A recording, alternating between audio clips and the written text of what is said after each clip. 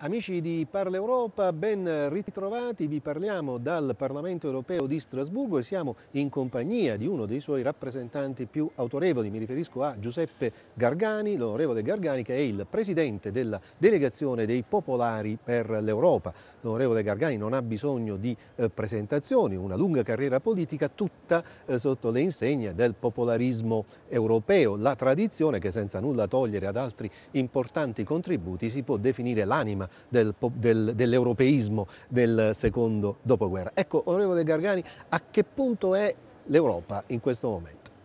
Eh, è una domanda complessa e complicata. A che punto è l'Europa? L'Europa è ad un snodo e non è una frase retorica né una frase fatta.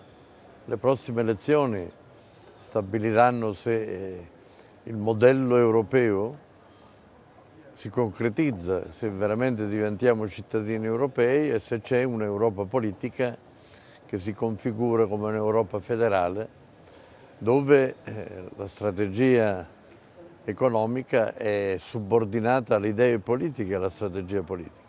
Quindi noi siamo ad una posizione definitiva rispetto all'avvenire. I costituenti volevano un'Europa politica, la crisi economica nell'ultimo periodo ha fatto prevalere il dato economico, la legge dei mercati, la finanza e quindi la politica è, sta, è rimasta indietro, è andata sott'acqua e quindi non ha governato il processo. Noi come popolari riteniamo di essere all'avanguardia. Rispetto ai socialisti riteniamo di essere una forza culturale giovane, una forza culturale che tiene conto della persona e proprio dell'idea europea dei cittadini dell'Europa, dei cittadini di un continente che deve comprendere i vari stati e deve avere una sovranazionalità. Mm. Allora il punto centrale è, per far capire a tutti qual è il problema, che finora c'è stata un'Europa intergovernativa, cioè un'Europa fatta da governi che dovevano trovare un accordo, un equilibrio a volte anche all'unanimità, quindi molto faticoso. Noi dobbiamo essere invece un'Europa eh, comunitaria, dove la sovranazionalità viene temperata e equilibrata rispetto alle sovranità nazionali, ma tutti gli atti e tutte le delibere che l'Europa fa e il ruolo del Parlamento deve essere finalizzato al bene di tutte le nazioni, non di alcune a svantaggio di altre. Non ci deve essere un'Europa del nord e un'Europa del sud, ma un'Europa che, che divida i sacrifici, ma che al, al tempo stesso indichi una strategia per lo sviluppo, perché l'Europa deve svilupparsi in quanto finora ha segnato il passo e l'economia va male, la disoccupazione aumenta e quindi l'Europa non ha non esplode nel grande disegno che i costituenti avevano e che i popolari vogliono portare avanti, soprattutto in questo periodo. Di qui le iniziative che abbiamo preso, la delegazione italiana Popolari per l'Europa significa che vuol dare un contributo al popolarismo europeo che finora è un'astrazione, ma che deve essere riempita di contenuti proprio da chi ha una tradizione forte, sturziana, degasperiana come noi in Italia, per dare valori, per organizzare eh, strategie, per avere il principio della solidarietà europea, della sussidiarietà che costituiscono i cardini, i caposaldi di una funzione europea nell'ambito del mondo. Lei, Presidente Gargani, ha citato Alcide De Gasperi, che è uno dei patres Europe, e eh, certamente non le sfugge che nella proposta de Gasperiana c'era anche in nuce molti anni fa il progetto di una difesa comune europea, di un esercito europeo. È un tema attuale secondo lei? Più che attuale, perché siccome gli eserciti servono per difendere e non per attaccare, noi oggi abbiamo bisogno di un'espansione soprattutto nel Mediterraneo, ma di avere una politica della difesa, della sicurezza comune, eh, generale, è l'Europa politica di cui si parla. Io vorrei ricordare una cosa che credo possa impressionare fortemente chi ci ascolta. De Gasperi nel 1953, visto che lo abbiamo citato, 1953, tanti anni fa, fece una profezia, io la considero una profezia, perché disse che se un giorno si fosse verificato la moneta unica, fosse venuta fuori la moneta unica, Mm. quindi allora di monete uniche non se ne parlava, quindi l'euro, e l'Europa non fosse preparata politicamente, organizzata politicamente, De Gasperi diceva ci saranno grandi problemi. Mm. E noi abbiamo questi grandi problemi. Allora abbiamo un'Europa che da 15 stati è diventata molto più grande, 28, 29, e questo ha rallentato il processo politico di sviluppo, Mm. Perché 12 nazioni in più, 12 paesi in più, eh, mentre eh, hanno un po' rallentato questa omogeneità politica, questa unità politica di cui io parlo. I 15 paesi avevano già trovato nel 2005, nel 2004 una intesa politica, un'amalgama. Lei pensa che ci sia stata un'accelerazione eccessiva da questo Sì, punto di è vista? stata un'accelerazione eccessiva che ha rallentato questo processo. Allora, siccome lei mi chiede la difesa, la politica, la difesa fa parte della politica, la sicurezza fa parte di una- un processo comunitario dove le istituzioni, la difesa del territorio e il rapporto con il resto del mondo, con gli altri continenti, è il cuore del problema, è l'anima del problema e il protagonismo che l'Europa deve avere rispetto a tutti gli altri paesi del mondo. Presidente Gargani, normalmente in, queste- in questa nostra trasmissione, siccome si parla troppo poco di Europa in Italia, noi cerchiamo di evitare i riferimenti alla politica italiana, però le prossime elezioni europee segnano una importante novità rispetto al passato, anzi due, la necessaria dichiarazione di appartenenza delle liste che dovranno dire a quale gruppo parlamentare intendono iscriversi e l'indicazione di un presidente federale, di un presidente della commissione che poi dovrà essere ratificato secondo i passaggi previsti dai trattati, ma in qualche modo sarà legittimato dai cittadini. I socialisti hanno indicato per questo ruolo Martin Schulz, i liberali Guy Verhofstadt, i popolari ancora nessuno. Perché? Lo indicheremo il 5 marzo a Dublino, al nostro congresso del Partito Popolare Europeo. Ma qui voglio dire una cosa che riguarda l'Italia, visto che poi noi siamo italiani, riguarda l'Europa. Eh, a me fa piacere che i socialisti si mettono insieme, si aggregano. Io da un anno e mezzo, da vari anni anzi, ma da quando sono capogruppo, eh, auspico che le famiglie politiche europee, si chiamano così, si mettano insieme, si unifichino. E quindi i socialisti devono essere unificati, i popolari devono essere unificati.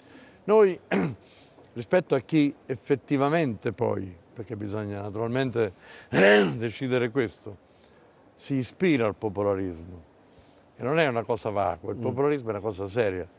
L'ha inventato Sturzo, Kohl, Adenauer, e l'hanno visto finalizzato questo ruolo del, del popolarismo come cultura e come strategia istituzionale all'Europa unificata, all'Europa unita, fonte di pace Mm. e quindi di sviluppo. Allora questo popolarismo si deve aggregare in Italia, ma seriamente, non per appartenere tanto per appartenere.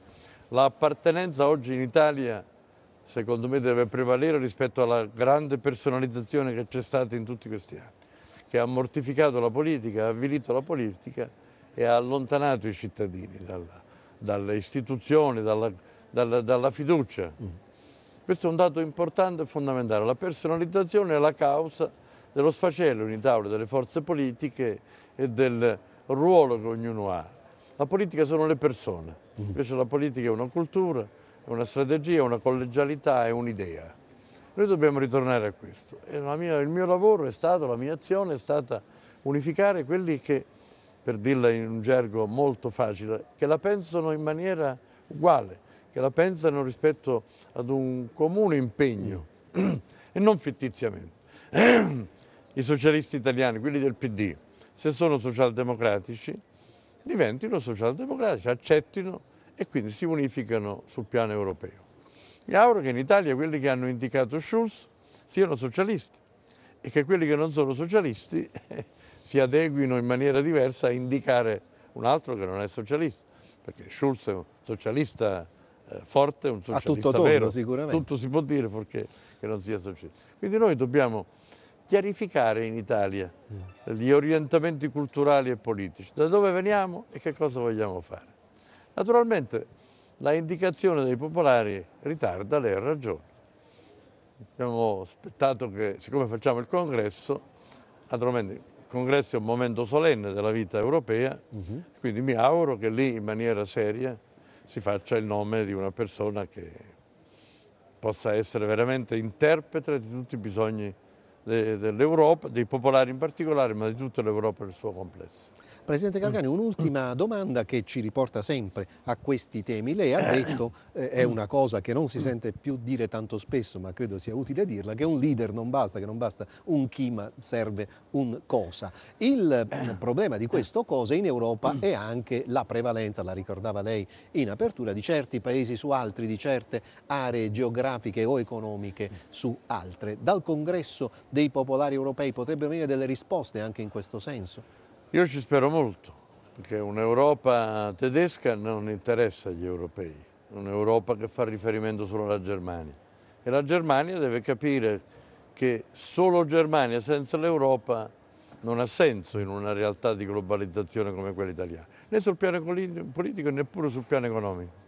E allora se il congresso dei popolari fa veramente un passo avanti per indicare una via di sviluppo, ma anche davvero una possibilità che i vari paesi si ritrovino collegialmente in una dimensione unitaria, a prevalenza di nessuno, a prevalenza di nessun paese.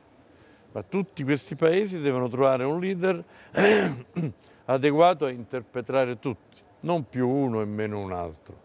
Non l'Europa del Nord, come ho detto prima, l'Europa del Sud, non un'Europa alla doppia velocità, perché l'Europa se vuole avere un avvenire, una strategia, deve essere un'Europa unitaria sul piano politico, sul piano economico, sul piano sociale, sul piano dei diritti civili, sul mm. piano dei diritti fondamentali, sul piano di una strategia che la, far, che la fa diventare il protagonista nel mondo. Noi abbiamo bisogno non di essere in difesa, mm non di essere una nazione che vivacchia, una, una, una, un continente che vivacchia, un'unità di stati che vivacchia abbiamo bisogno di essere una unità politica strategica. Mm. La Cina si è organizzata, purtroppo prevale, l'America, l'India, sono tutti paesi che sono eh, orientati verso uno sviluppo.